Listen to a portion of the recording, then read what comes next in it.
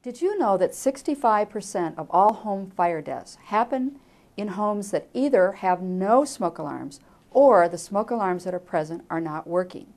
You need working smoke alarms in your home to give you an early warning to get out in a fire. Here is some important information for you on smoke alarms from the National Fire Protection Association. When buying a smoke alarm, make sure it has the label of an independent testing laboratory. For the best protection, you should have both photoelectric and ionization type smoke alarms. A photoelectric alarm is more responsive to smoldering fires like a fire started by a discarded cigarette.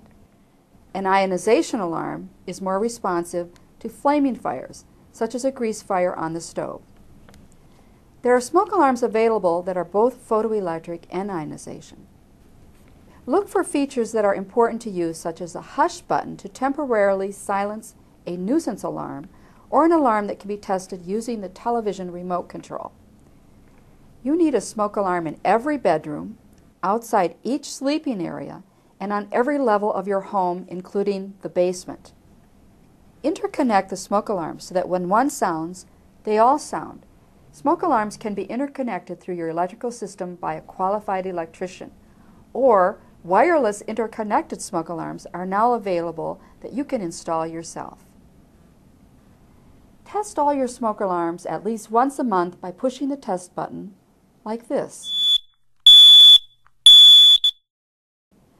Replace batteries in all your smoke alarms, both hardwired and battery operated, once a year or when the alarm chirps indicating a low battery.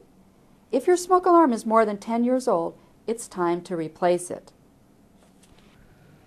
Working smoke alarms in the home will give you the early warning you need to get out in a fire. Test your smoke alarms today to make sure they are working.